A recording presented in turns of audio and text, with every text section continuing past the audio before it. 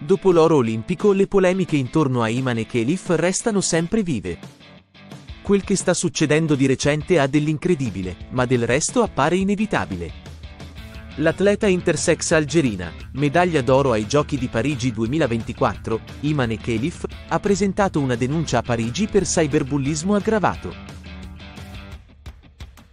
Sostiene di essere stata vittima di polemiche, amplificate online, su questioni riguardanti il suo genere.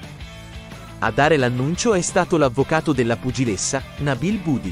Appena premiata con la medaglia d'oro, l'atleta ha deciso di avviare una nuova battaglia, questa volta legale, fa sapere il legale in un comunicato.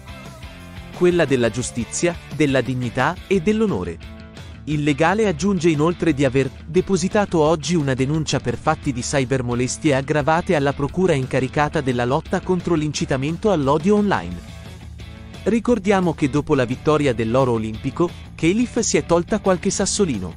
Ho vinto da donna, dice la campionessa olimpica. Mi sono qualificata a pieno diritto per partecipare a questi giochi.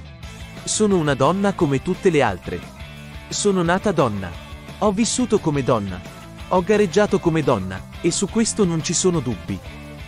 Chi ha parlato è nemico dei successi, e questo mio ha un sapore particolare proprio per gli attacchi che ho subito. Il caso non è affatto chiuso. La denuncia del resto non è altro che un atto dovuto, rispetto alla miriade di commenti intrisi d'odio arrivati nelle ultime settimane. Iscriviti e attiva la campanella.